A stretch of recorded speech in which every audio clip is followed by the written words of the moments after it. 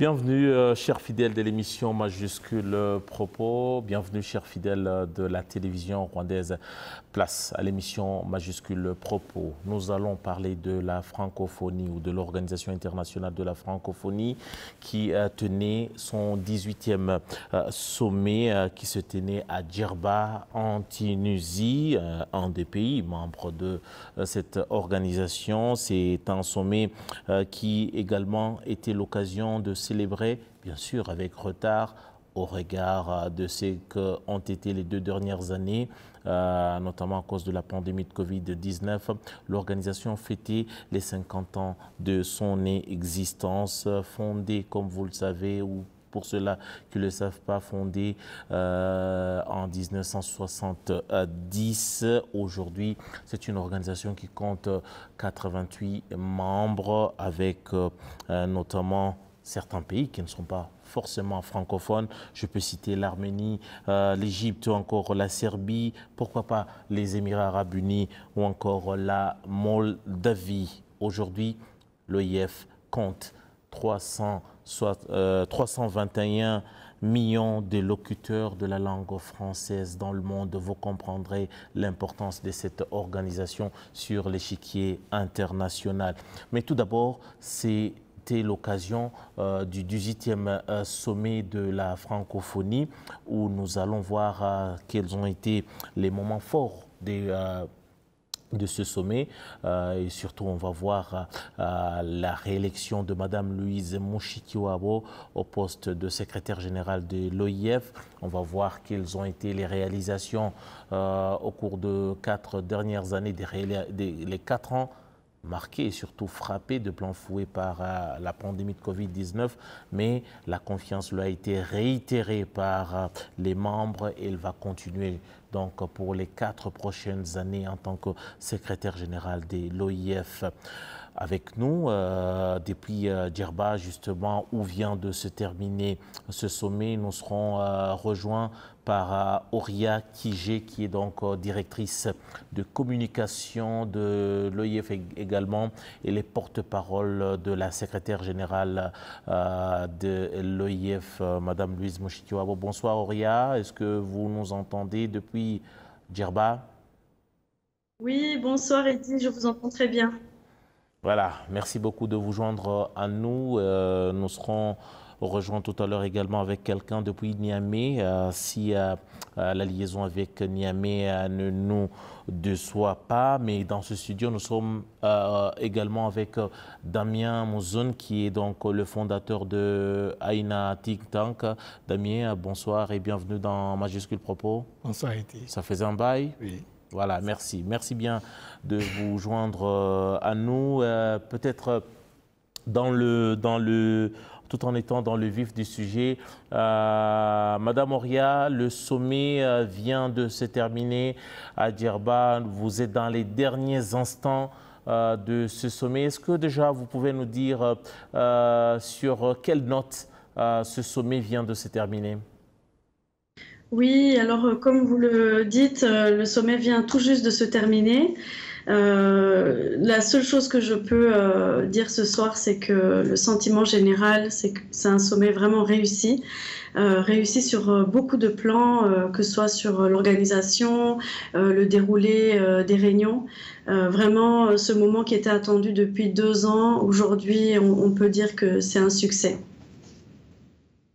un succès, euh, je comprendrai, mais c'est vrai que euh, ça a été quand même particulier. Euh, ça faisait deux ans que les gens ne se sont pas réunis physiquement dû à la pandémie. déjà, on parlait de, de, de, la ville qui a accueilli ce sommet déjà. pas Tunis, mais Djerba. Pourquoi Est-ce que vous avez, par exemple, une réaction par rapport à ça? Euh, non, mais euh, vous savez, quand un pays euh, demande l'organisation du sommet, c'est à sa discrétion de choisir la ville dans laquelle le sommet se tiendra. la Tunisie avait obtenu l'organisation du sommet euh, lors du sommet de Madagascar en 2016. Mhm. Et donc c'est vrai que ça fait longtemps que cette, ce rendez-vous avait été pris en Tunisie. Euh, initialement, ça devait se faire à Tunis et puis le, le président de, de, la République tunisienne a décidé que ça se passerait à Djerba. Euh, peut-être pour mettre en avant, mettre en, en, en, lumière cette belle ville de Djerba. Donc ça, c'est le pays qui a choisi. Mais nous, en tout cas, en tant qu'organisateurs, co-organisateurs du sommet, on était ravis que ça se passe dans Djerba. vous savez, cette ville qui est surnommée l'île des rêves. en tout cas, c'était c'était très pratique parce que la ville de Djerba dispose de beaucoup d'infrastructures hôtelières. les espaces étaient magnifiques, le climat aussi était au rendez-vous. Donc euh, c'était un bon choix pour la francophonie.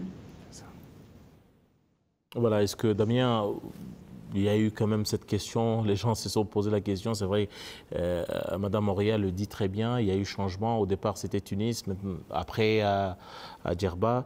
Euh, vous comprenez aussi le choix du pays de dire ok, on n'est pas, on le fait pas dans la capitale, mais on choisit une autre ville pour des raisons X. Oui, justement, parce que la diversité fait partie du jeu et la francophonie plonne aussi cette diversité. Vous voyez, c'est une ville quand même à caractère particulier. Quand vous suivez, pour ceux qui ont peut-être eu la chance de visiter cet endroit, c'est un lieu quand même assez historique. Et des événements comme ça permettent aussi aux différents invités de découvrir d'autres parties de nos pays. Parfois, euh, qu'on pense que c'est seulement la ville principale qui est la seule ville. Euh, d'un pays, je pense que c'est quand même stratégique et n'importe quel pays pourrait quand même opter pour euh, euh, faire découvrir quand même l'intérieur de son pays au lieu que tout se tienne quand même dans une ville qui est déjà connue comme capitale où tout se passe. Donc cette délocalisation n'est pas quand même... ça n'a rien de, mal et moi je pense que c'est quand même beaucoup plus un avantage pour ces gens de découvrir ces, cet endroit que peut-être d'autres ne connaîtront jamais. Euh, aussi euh, peut-être euh, pour dire aussi que la Tunisie sort d'une situation d'une période assez délicate aussi. Vraiment, on ne doit pas se cacher ça. La Tunisie avait aussi besoin d'un tel événement pour aussi peut-être redorer son blason ou peut-être voir beaucoup plus en rose l'avenir aux côtés des, des, autres membres. Oui, je pense que déjà, la francophonie a quand même un rôle assez politique, euh, qu'on le veuille ou pas. Euh, ça revient incessamment, ce qui veut dire que si un événement comme ça peut être objet d'apaisement euh, d'un pays, je pense que c'est quand même de bonne guerre. Nous devons quand même pouvoir prendre ça de ce côté-là et voir le fait que, c'est vrai, il y a eu beaucoup de critiques par rapport au fait que parfois les gens se disent que un pays qui a de crise. Euh, vous avez vu les gens parler du Tchad et d'autres pays, mais je pense que la question majeure, la francophonie n'est pas là pour euh, soulever les problèmes, c'est pour régler les problèmes. Donc si mm. quelqu'un a des problèmes, c'est lui qu'on visite, ce n'est pas celui qui, qui, se porte bien qu'on visite dans notre tradition. Mm. Et donc je pense que quelque part, pour moi personnellement, je me dis c'est c'est utile quand même de pouvoir aller vers ces pays-là qui ont parfois des difficultés. Et si des événements comme ça peuvent se multiplier dans certains pays, on ne sait jamais, ça peut servir quand même de pont pour quand même euh, l'apaisement, parce que la crise politique aujourd'hui, elle est mondiale, ce n'est pas, euh, même si la particularité est accentuée sur certains pays euh, qui sont aujourd'hui assez en mouvement avec des, soulèvements populaires et autres, espérons que ce serait quand même un, nouveau départ pour la Tunisie qui a quand même tant souffert depuis les la crise et les, printemps arabes jusque-là, je pense qu'il faudrait que finalement ce pays se calme parce que c'est un des pays quand même majeurs et piliers dans l'échiquier politique africain et ils ont quand même aidé beaucoup de pays au départ et nous leur souhaitons quand même que ça soit que la situation s'apaise et que la Tunisie quand même reprenne euh, sa, sa, forme euh, de pays leader. Voilà. Voilà, justement, parlant de, euh, de, la Tunisie, euh, j'aimerais bien qu'on puisse suivre cet élément. Euh, c'est un sommet qui a été marqué par beaucoup de choses, mais notamment marqué par la réélection de Mme Louise Mouchikiwao, mais il y avait aussi d'autres questions qui étaient au menu de ce sommet. J'aimerais bien qu'on suive cet élément de notre consoeur Amandine Ndikumasabo, qui était sur place à Djerba. Elle nous dit et nous détaille un tout petit peu euh, certains moments clés de ce sommet, ce 18e sommet de l'OIF qui se tenait qui se tenait ou qui, vient de s'achever à Djerba, à Tunis. Amandine Ndikoumassabou sommet des chefs d'État et de gouvernement de l'Organisation internationale de la francophonie, le président Paul Kagame a été reçu par le président tunisien. Hôte de ce grand rendez-vous des pays de l'espace francophone, en présence de plus de 30 présidents, son Excellence Kais Saïd, leur souhaitant la bienvenue, a exprimé le choix de l'île Djerba pour la tenue du sommet.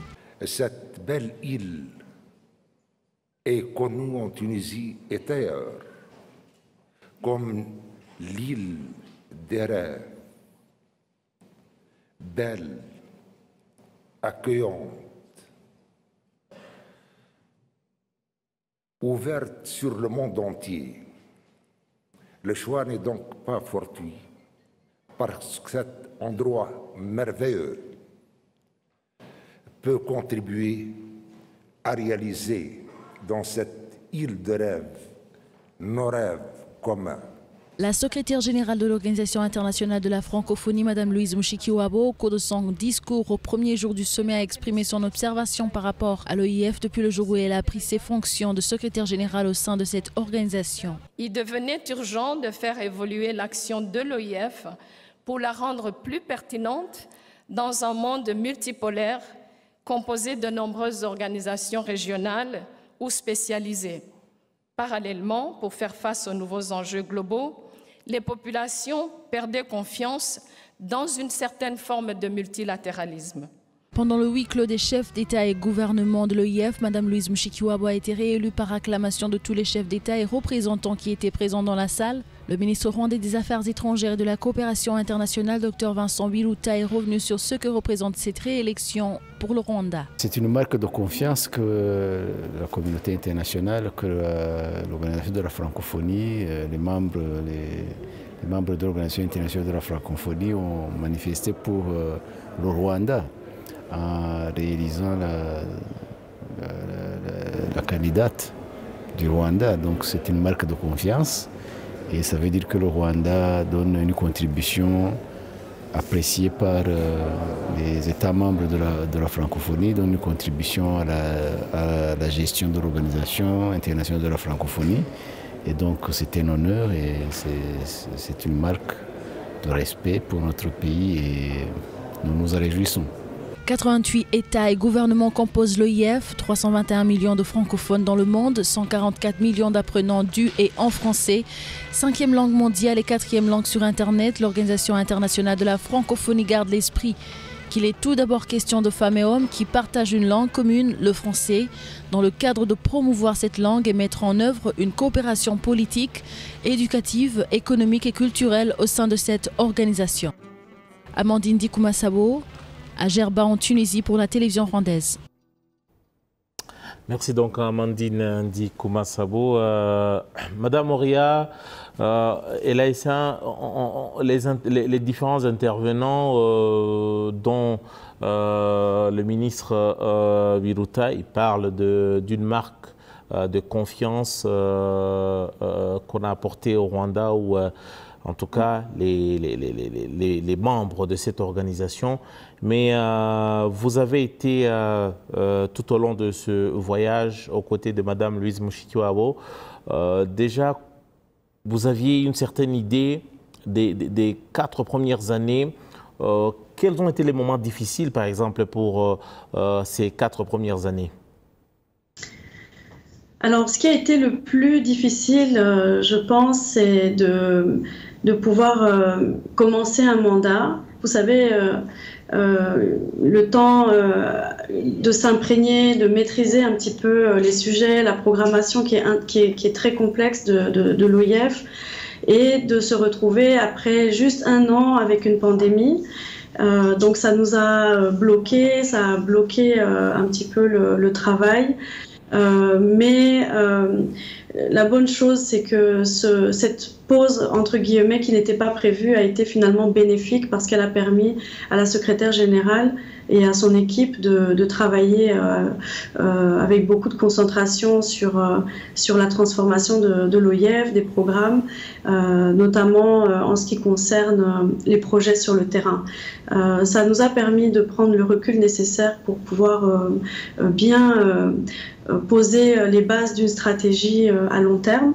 Et ce, travail n'aurait peut-être pas pu se faire aussi en profondeur euh, s'il n'y avait pas eu ce temps de pause euh, que malheureusement la pandémie a, offert. Mais je vais dire que ce mandat, si on doit retenir une chose de ce mandat, c'est que euh, la secrétaire générale qui avait reçu le mandat, la mission par les chefs d'État qui l'ont élu à Erevan en 2018 euh, la mission de réformer, de moderniser l'organisation. Euh, je pense que le temps euh, de ces quatre ans a été très bien utilisé parce qu'on est aujourd'hui en 2022 dans, un, dans, une organisation qui est très très différente de ce qu'elle était en 2018. beaucoup beaucoup de choses ont été faites, notamment sur le plan des procédures, les modes de fonctionnement, les ressources humaines. vraiment, à ce niveau-là, je pense que euh, même le sommet qui vient de se terminer est un bel exemple. Euh, ce sommet était très différent de tous les autres sommets. Elle a proposé un format innovant euh, où les chefs d'État ont pu se réunir et travailler sur des tables rondes. C'est vraiment inédit. ça s'était jamais fait dans le passé. Et donc, d'une manière générale, on, peut dire que ce, mandat, le fait qu'elle puisse être renouvelée pour quatre ans supplémentaires est une très bonne nouvelle parce que ça va permettre d'aller encore plus loin dans, dans, dans, tout le travail qui a été entamé depuis 2018. On va comprendre vraiment, ça n'a pas été euh, aussi facile. Damien, est-ce que euh, la réélection, par exemple, de Mme Louise Mouchkiwao, euh, elle était naturelle au regard de la situation, au regard de ce qu'elle représente, de, du travail qu'elle a abattu Oui, je crois que personnellement, je peux dire c'est quand même louable pour qu'on puisse, on puisse lui faire confiance. Si vous voyez même celle qu'elle a remplacée, elle n'a que fait 4 ans et elle est partie, celle-ci est venue. Et c'était discuté, mais cette fois-ci, ça n'a pas été discuté. Moi, je pense que selon ce que le ministre dit, euh, notre ministre des Affaires étrangères ici, c'est que euh, cette marque de confiance quand même de pouvoir voter quelqu'un à l'unanimité sans qu'il y ait même de concurrents qui se présentent et moi, je pense que quand on prend les choses du côté positif, d'abord, elle a été reculée par le fait qu'il y a eu cette pandémie, avec tout l'espoir et toute la transformation qu'elle voulait apporter à cette euh, organisation. Et on, on, voit quand même clairement qu'elle a des choses à proposer sur la table, euh, des choses comme le euh, le Muganda, par exemple, des choses comme ça qu'elle essaie de valoriser. On a besoin aujourd'hui que nos villes francophones soient assez propres. Et des initiatives comme ça, je pense que les gens ont besoin des gens quand même dynamiques, efficaces, qui soient quand même euh, là pour travailler et pour reformer une organisation quand même que si on la laisse à, sa création, à sa base, elle risque de perdre les références dans le monde moderne aujourd'hui. Donc cette modernisation était nécessaire et ce n'est pas une coïncidence forcément qu'elle soit réélue avec acclamation, sans, concurrence, je pense que quelque part, c'est quand même une euh, confiance qu'elle doit, euh, même si c'est mérité, c'est que ça la met maintenant beaucoup plus au travail pour qu'elle sache que en tant qu'Africaine, elle doit pouvoir apporter sa touche et une transformation quand même structurelle et durable pour réformer cette organisation. Et je pense que la, la connaissance de loin par rapport à son travail au niveau du ministère des Affaires étrangères ici, et donc euh, je pense qu'elle ne décevra pas le continent qui euh, lui aurait quand même euh, apporté ce soutien à l'unanimité et le monde entier qui a voulu quand même qu'elle soit la personne qu'il faut, à la place qu'il faut en ce moment-là. Voilà, et donc en tout cas, sinon, euh, renvoyer l'ascenseur euh, aux, membres euh, qui lui ont donc fait confiance. On me signale que nous sommes rejoints par Ousseinou Nargay. il est donc fondateur du site d'info Tract, donc c'est au Sénégal. bonsoir, Nangadef. Bonsoir, Edou euh, magnifique rêve.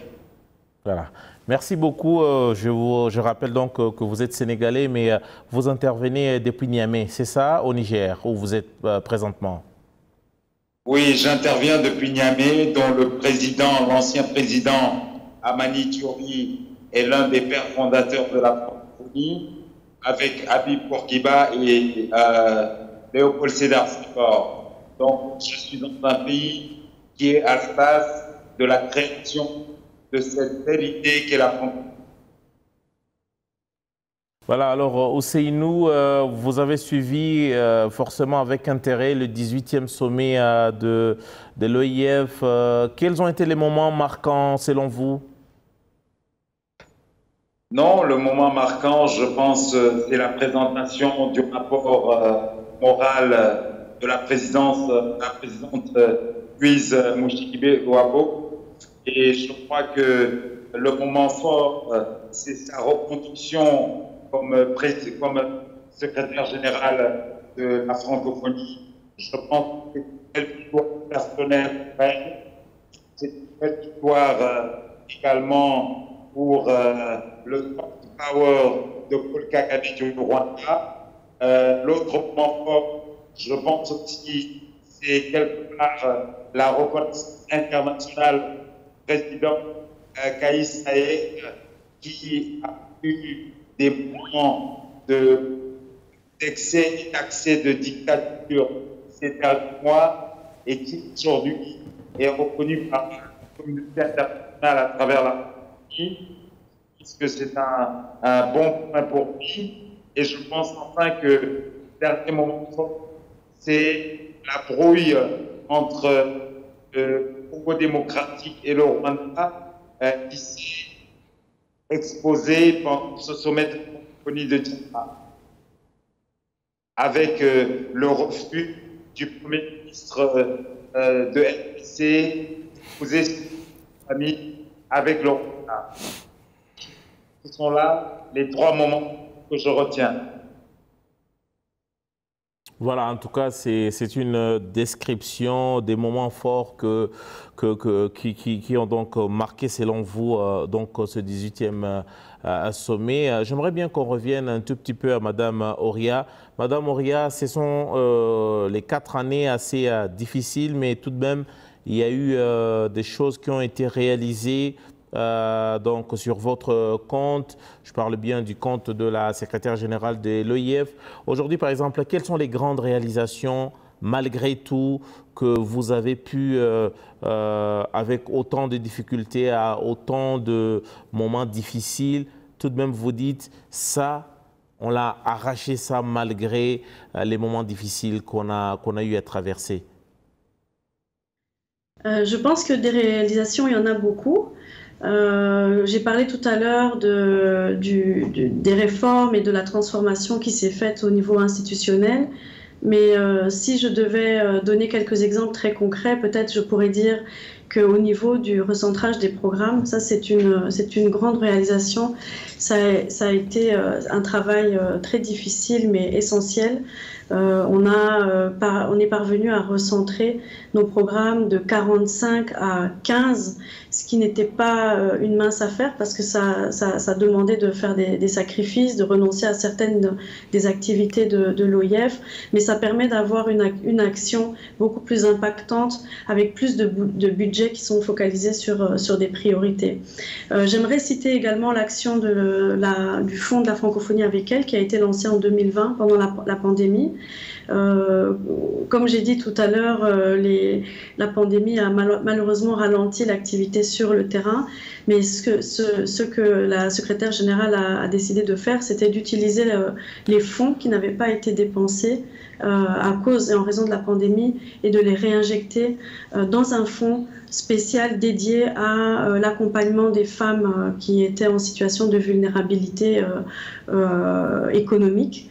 Euh, suite à la pandémie. Et le résultat de, ce fonds, c'est que c'est une initiative qui a très très bien fonctionné, qui d'ailleurs a continué euh, euh, l'année suivante et qui est même maintenant en passe de grandir encore avec beaucoup de contributions exceptionnelles d'États membres qui, ont donné, qui ont libéré de l'argent et on peut voir vraiment que sur le terrain, ça a eu un impact considérable sur la vie de, beaucoup beaucoup beaucoup de femmes de l'espace francophone.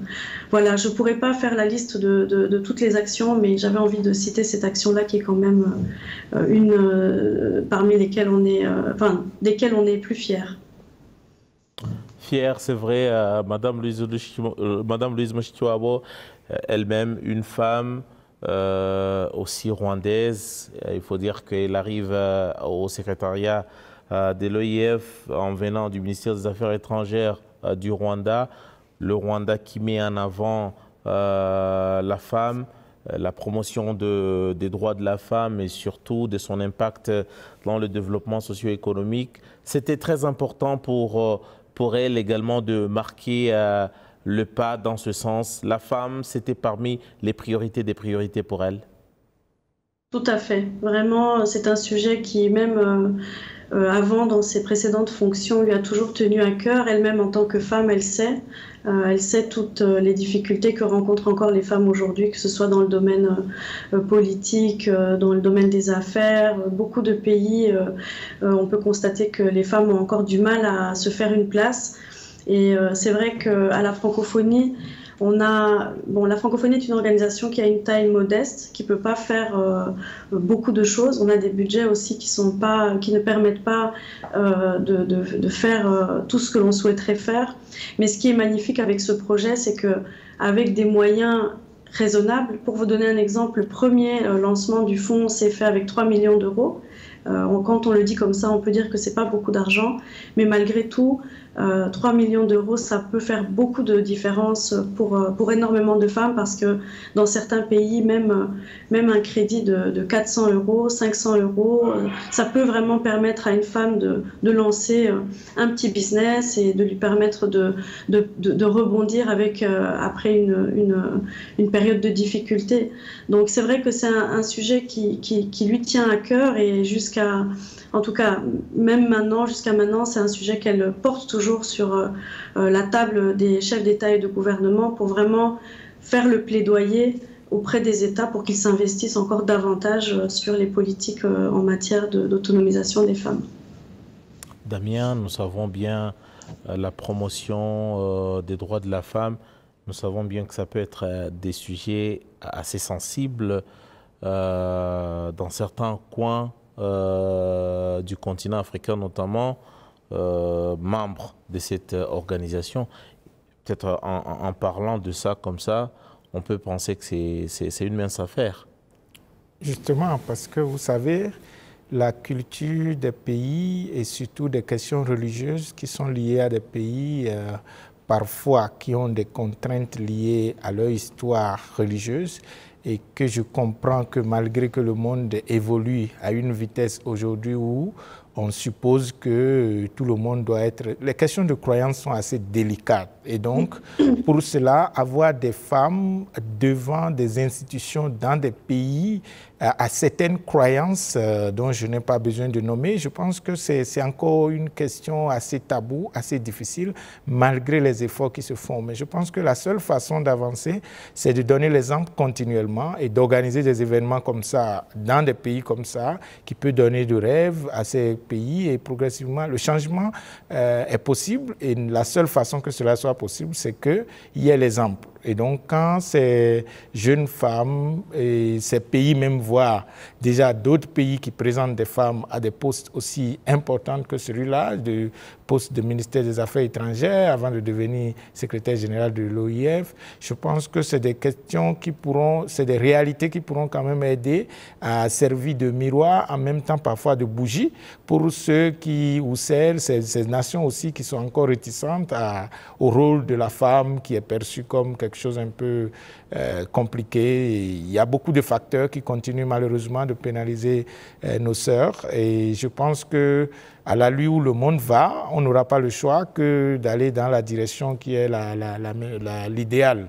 Donc je, suis convaincu que c'est vrai que ce n'est pas gagné à l'avance, mais à force de faire de petites actions et de, de contribuer, on ne finira pas à trouver cette... Euh, entente où tout le monde comprendrait que tous les êtres humains sont vraiment égaux et ce n'est pas une question de genre, ni d'ethnie ou de quoi, et de race. Et je crois qu'on a aujourd'hui des questions de cette nature qu'il faudrait forcément que notre société prenne sérieusement et qu'on sorte du déni et qu'on donne euh, la dignité à chaque être humain. Et je pense que ça, c'est impératif.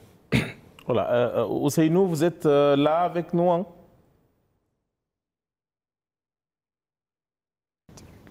Je pense qu'on a, on a, on a des, petits soucis avec euh, euh, la liaison avec Niamey. Euh, je reviens à vous, Madame Oria. on parlait des, quatre dernières années, c'est vrai. C'est un nouveau chapitre qui vient de, de, de, commencer ou vous venez de vous relancer pour les quatre prochaines années. vous avez tâté le terrain, vous avez jeté les jalons c'est quoi maintenant la suite sur votre programme pour les quatre prochaines années C'est quoi la différence avec celle qui vient de s'écouler? Écoutez, c'est une bonne question. Euh, je pense que la priorité, alors la, secrétaire générale aura bien entendu elle-même le loisir de, de s'exprimer pour euh, donner euh, ses priorités pour les quatre prochaines années.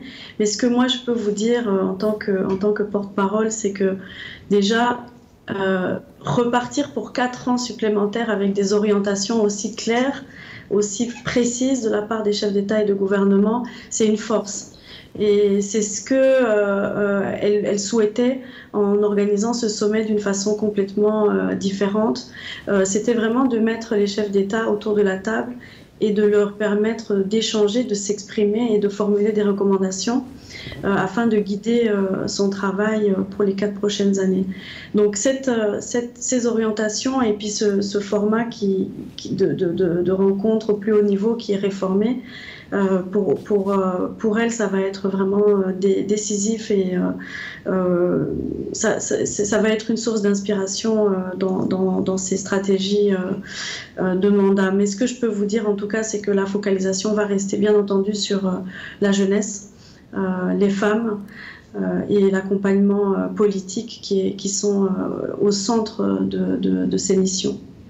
L'accompagnement politique, c'est bien, mais il y a des initiatives que vous avez déjà lancées, certaines qui ont déjà débuté. Tout à l'heure, vous avez écorché un tout petit peu le, le, sujet.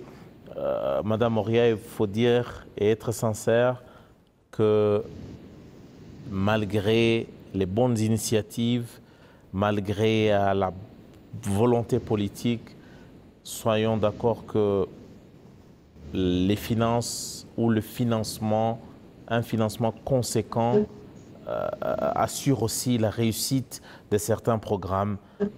Euh, et aujourd'hui, ce n'est pas forcément le cas pour ce qui est des budgets ou de la budgétisation de certains de certains programmes euh, qui, qui, vous sont ou qui vous tiennent à cœur. Tout à fait, Eddy, vous avez euh, vraiment euh, raison dans, ce que vous dites, d'autant que cette discussion a été même abordée lors de cette rencontre des chefs d'État. la grande faiblesse de cette organisation, et je pense que tous l'ont reconnu, ce, sont les finances. les budgets restent limités. et malheureusement, ça entrave l'action qui pourrait, qui pourrait être encore plus, plus impactante de la francophonie. Donc euh, certains chefs d'État ont même euh, se sont exprimés, des chefs d'État des pays du Sud, qui ont dit il faut absolument que, que les États revoient complètement leur, leur, niveau de contribution dans l'organisation. À l'heure actuelle, il y a un grand décalage au niveau des contributions des pays euh, du Nord euh, et des pays enfin, du Nord, notamment la France et le Canada, qui sont les plus grands contributeurs euh, financiers à cette organisation. Et beaucoup de pays du Sud aujourd'hui sont très favorables à une revalorisation de leur, de déjà par rapport à, à l'influence que ces pays pourront avoir au sein de l'organisation, mais aussi parce que quand on est impliqué, quand on veut avoir un impact euh, quand on, bah, ça demande aussi euh, de, s'impliquer financièrement. Donc euh, cette question-là, elle va être, elle va être je pense, abordée pendant ce prochain mandat. Damien, c'est très important. le financement de certains projets, des organisations telles que l'EIF, c'est aussi des, réalités qu'on retrouve, par exemple pour certains projets, pour des blocs régionaux où, malgré toute la bonne volonté du monde, certains projets restent dans les, dans les tiroirs ou sur les tables de certains responsables. Comment est-ce que maintenant les bonnes initiatives telles que celle-ci deviennent des priorités, par exemple, pour l'organisation, pour les pays membres et surtout euh, la contribution euh, qui soit conséquente il faut d'abord dire que euh, les finances sont déjà ce que nous appelons des ressources naturellement limitées. Donc, même l'ONU, toutes ces grandes organisations, ils ont toujours des déficits budgétaires, des, challenges. C'est vrai que ce n'est pas la même chose pour toutes les organisations. Par exemple, quand vous prenez le cas de nos organisations sous-régionales, parfois c'est pratiquement, si elles doivent être financées, c'est la métropole qui met l'argent et qui parfois dites carrément ce qui va se passer. Et donc, je pense que c'est une question aussi de responsabilité, euh, comme la porte-parole venait de l'énoncer. C'est important que des pays aussi s'impliquent euh, de façon beaucoup plus à mettre la main dans la poche pour que en réalité, cette question de moyens, elle puisse être une, euh, le minimum soit garanti quand même pour ces organisations quand même dont on a plus que jamais besoin aujourd'hui dans un monde en turbulence où il y a beaucoup de crises. Et donc je pense que si on donne quand même de pouvoir à des organisations assez euh, internationales, assez mondiales, comme l'OIF et qui pourront jouer leur rôle en termes de euh, euh, organisation de grande moralité, d'influence, je pense que ce serait quand même euh, dans l'avantage de tous ces grands projets. Et donc, il, faudrait que peut-être une solution soit trouvée d'une manière ou d'une autre. Et comme la question est déjà en, train d'être débattue, moi, je pense que aussi, ce qu'il faut suggérer à ces organisations, c'est de pouvoir faire quand même l'essentiel dans la limite de leur budget. Et à l'impossible, nul n'est tenu. Donc, il faut que parfois, ces organisations. Et je crois que des initiatives, comme je l'ai énoncé tout à l'heure, comme Ouganda, euh, parfois peut-être ne nécessitent pas forcément beaucoup d'argent. C'est comme les citoyens eux-mêmes qui se lèvent pour aller nettoyer les rues et apporter quand même leur contribution. Donc il faudrait qu'on puisse impliquer aussi la population à la base et les États de telle façon que chacun se sent quand même mettre la main à la tâche. Et parfois, ce n'est pas seulement l'argent qui règle les problèmes, c'est parfois la bonne volonté, mais l'argent, c'est comme euh, le carburant. Et ces ça peut être disponible, ça peut être limité, mais quand même, si on a la, une bonne volonté, on peut quand même faire de bonnes choses, comme ce qu'ils essaient déjà euh, d'enclencher dans une organisation comme celle-là, qui viennent de prendre euh, un coup de route. Alors, euh, on me dit que Ousseinou est avec nous. Ousseinou, vous nous entendez?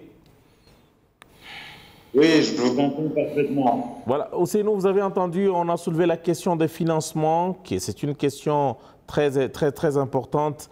Euh, alors, euh, ça nous amène un peu à, peut-être aussi euh, examiner le rôle de l'OIF ou l'impact de l'OIF dans la transformation des, voilà, de, de, la vie socio-économique des, pays, de ces pays, des pays membres, mais également voir l'impact de cette, de cette organisation par rapport ou à côté des autres organisations euh, auxquelles appartiennent les pays membres de l'EIF euh, choqué par euh, l'utilisation du mot métropole par le représentant du think tank AINA, parce que nous ne sommes plus en situation de colonisation, donc il ne faut pas parler de métropole parce qu'il n'y a pas de colonie.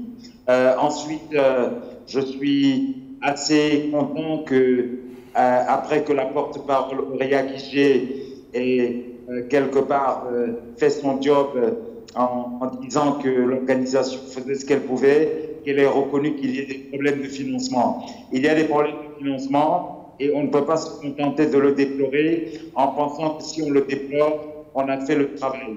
Euh, L'OIF doit être un véhicule au-delà de ce qui s'appelait la vous, suggérez quoi Vous suggérez quoi Ce que je suggère, c'est que par exemple, pour euh, l'appui aux, activités, aux, activités culturelles, euh, que euh, l'IF arrête de donner des financements à des organisations du Nord pour porter des projets du Sud. Les producteurs de cinéma du Sud, quand ils demandent de l'argent au fond de cinéma de l'UIF, se trouvent à côté de plusieurs producteurs occidentaux, français, canadiens, qui viennent demander de l'argent, faire des projets en Afrique. Ce ne sont pas des producteurs africains. Il faut donner l'argent aux producteurs africains, aux éditeurs africains, etc. Donc, en ce qui est un volet important de l'action de l'OIF, c'est-à-dire l'appui à l'action propose qu'on mette l'argent là où il faut, c'est-à-dire en Afrique pour les Africains, par les Africains. Euh, on, va, on va revenir tout à l'heure au CINO, on aura compris. Il, essaie un peu de proposer, en tout cas, certaines pistes de solutions pour trouver euh, certains financements qui puissent euh, permettre à l'organisation de, de, fonctionner. Mais avant, avant cela, j'aimerais bien peut-être qu'on accorde la parole également à Mme Auria Kijé, qui est également appelée à d'autres devoirs sur place à, à Djerba.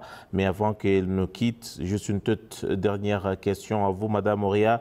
Alors, Madame Auria, euh, aujourd'hui, euh, quelle est euh, la lecture que vous faites de l'OIF à côté des autres organisations internationales auxquelles les, pays membres de, de appartiennent? Êtes-vous autant fier Comment est-ce que vous, vous placez par rapport à ces autres organisations euh, dans l'impact que vous faites au sein des pays membres. Alors c'est une question difficile parce qu'on a abordé tout à l'heure la, question des financements. Et donc forcément euh, d'autres organisations internationales, euh, on doit le reconnaître en toute humilité, ont plus de moyens que l'OIF. il y a aussi souvent la question qui revient souvent, est-ce que finalement la francophonie c'est pas une version miniature de, des Nations Unies? Euh, quelle est la plus-value, comment est-ce qu'un État qui participe, euh, qui, appartient à la francophonie, euh, quel est l'intérêt finalement d'appartenir à la francophonie quand on appartient aussi aux Nations Unies, à l'Union européenne, à d'autres organisations?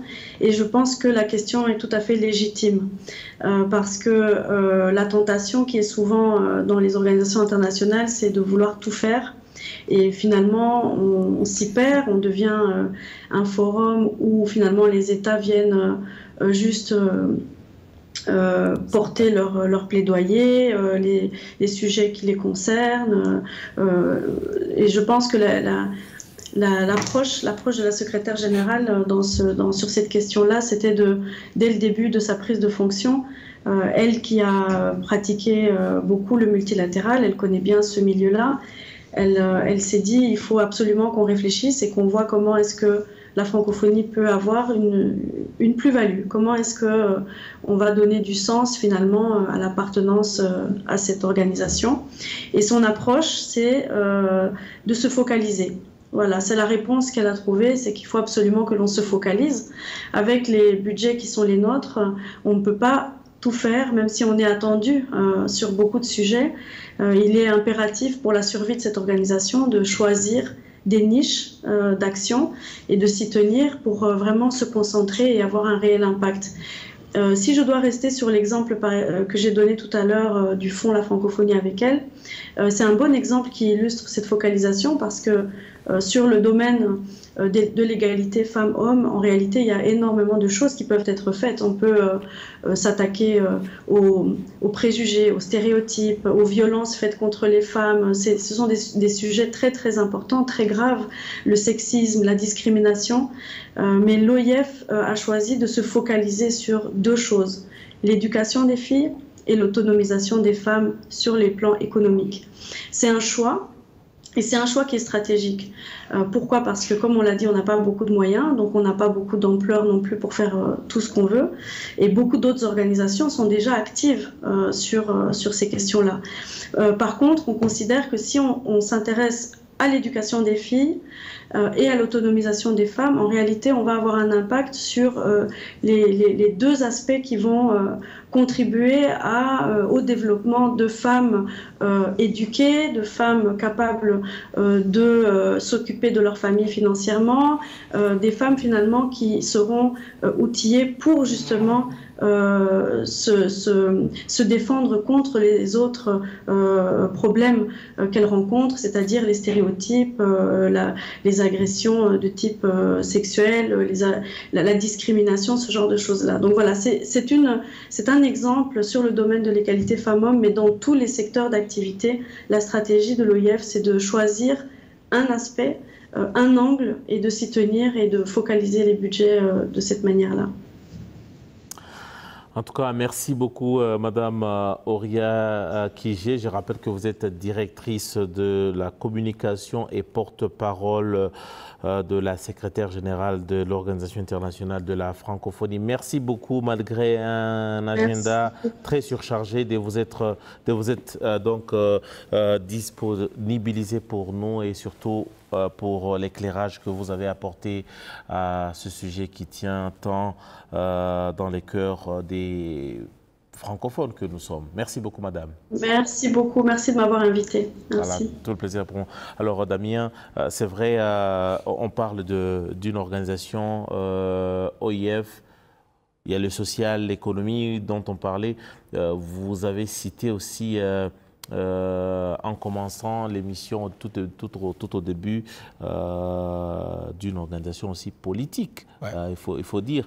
Alors, comment est-ce qu'on fait la part des choses Déjà, l'organisation et son impact dans la transformation de, des vies des, des pays membres? Comment est-ce que, concrètement, elle vit, elle survit, elle s'identifie aux côtés des autres organisations D'abord, euh, la question politique, vous avez vu que peu s'en fallait, la, toute la rencontre allait s'enflammer parce que les politiques ont voulu prendre le dessus, apporter leurs problèmes qu'ils avaient depuis chez eux sur la table et quand cela prend le, ça déforme.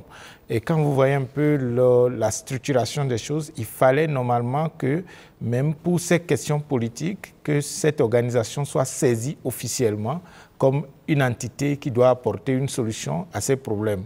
Mais même sans la saisie, c'est comme si on a toujours ce préjugé ou cette attente exagérée parfois de se dire, bon, comme c'est l'organisation internationale de la francophonie, elle doit pouvoir régler même nos problèmes politiques internes et entre nous, entre les voisins et autres. Donc je pense que cet aspect doit quand même euh, être une euh, réalité que prochainement, il faudrait que les attentes soient claires et que l'on puisse quand même euh, briefer ces gens, ces invités, pour qu'ils ne viennent pas polluer une initiative euh, aussi euh, modeste qu'elle soit, qui puisse vouloir apporter ses réponses à un problème, à une situation spécifique, qu'elle devient, comme notre euh, sœur venait de le dire, comme le plateau de l'ONU où tout le monde vient juste se plaindre et que rien ne, ne marche. Donc je pense que si le politique prend trop le dessus, ça risque de dénaturer cette organisation et parfois elle serait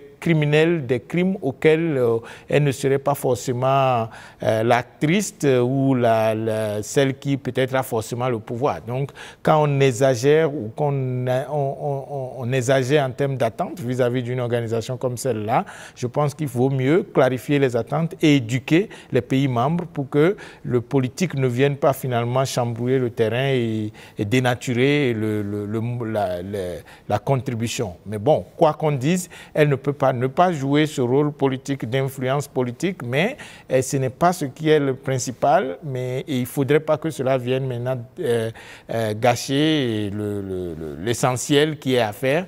Et parfois, c'est des polémiques euh, interminables et il faudrait parfois que ces États savent jusqu'où tel problème peut être réglé. Et donc, je pense que dans les réformes, nous, nous souhaitons que l'actuel secrétaire de, la francophonie puisse quand même mettre l'accent sur ces aspects-là et voir comment il faut faire en sorte que, à la longue, même si elle n'est pas là pour diriger l'organisation, qu'il y ait quand même des mécanismes, des structures, une institutionnalisation qui permet à ce que l'on ne puisse pas utiliser ce forum comme un forum euh, qui va peut-être euh, être du désordre. Je crois qu'il ne faudrait pas euh, que c'est des adultes et nous les jeunes qui les observons de loin, même en regardant la télé, et c'est eux qui doivent nous donner le chemin et qui nous doivent, devant nous éclairer. Et s'ils ils, se battent entre eux, ils sont en train de se, tirer dessus, ça ne nous donne pas confiance pour que nous on puisse quand même avoir cet espoir quand même parce que c'est nos mentors, c'est nos références et que si eux ne peuvent pas s'entendre, ça veut dire que si nous on se battrait demain, ils ne pourront pas venir nous dire arrêtez les petits. Voilà, est-ce que, euh, euh, est, que est avec nous? Je pense qu'on euh, a, on a, on a, vraiment du mal avec la liaison avec Niamey. Peut-être aussi, pour, pour, pour, terminer, Damien, 50 ans viennent de, de s'écouler de cette organisation, je le disais tout à l'heure. comment est-ce que vous, par exemple, vous envisagez... oui, je suis là. Ah, vous êtes là Je pense qu'il y a... Oui, là. Il y a une déconnexion. Voilà, peut-être euh, dans, dans, quelques secondes, euh, l'organisation vient de, totaliser 50 ans d'existence. Euh, aujourd'hui, comment est-ce que, par exemple, vous voyez l'avenir de cette organisation votre projection de cette, de cette organisation au regard du bonhomme de chemin qu'elle vient d'accomplir. Écoutez, moi, ce que je dirais d'abord, c'est que, la francophonie, c'est un beau projet, c'est une belle idée pour un destin commun des pays qui ont euh, la francophonie en partage, la langue française, mais qu'on est un peu dans un jeu de dupes parce que la France officielle euh, se préoccupe de la francophonie, ainsi que les, pays occidentaux francophones, comme la Suisse, la Belgique, le Canada, mais les populations de ces pays-là vers les pays du Sud. Et les pays du Sud qui parlent français euh, escomptent et espèrent que le fait qu'ils aient le français en héritage leur permettra plus faciliter économiquement, culturellement, socialement, euh, par les voyages, par les visas euh, à l'Occident, ce n'est pas souvent le cas. Donc, ce que j'espère c'est que la francophonie deviendra une organisation plus concrète en termes d'action politique et de possibilités de coercition de ses membres, en termes de possibilités de financement des projets des populations dans les pays C'est ce que j'espère de cette francophonie, cette OIF-là. En tout cas, merci beaucoup, euh, Ousseinou, euh, pour... Euh, vos propos. En tout cas, on aura compris euh, euh, votre idée dans sa généralité. Merci à tous les trois. Merci à Madame Auria Kijé, directrice de communication et porte-parole de la secrétaire générale de l'OIF, qui intervenait depuis Djerba en Tunisie. Merci également à vous, Ousseinou Gueye. Je rappelle que vous êtes éditorialiste sénégalais. Vous intervenez depuis Niamey euh, au Niger, euh, comme on dit. Euh, Djeredjef, merci beaucoup pour votre temps. Je pense qu'il est parti. Merci beaucoup. Voilà, Jeff. Euh, merci beaucoup également à vous, euh, Damien, pour, euh, pour ces éclairages. C'était très important et surtout, vive la francophonie. Merci à toutes les équipes qui m'ont réalisé et surtout, grand merci à vous, fidèles de l'émission Majuscule Propos. J'aurai tout le plaisir de vous retrouver très prochainement. Au revoir.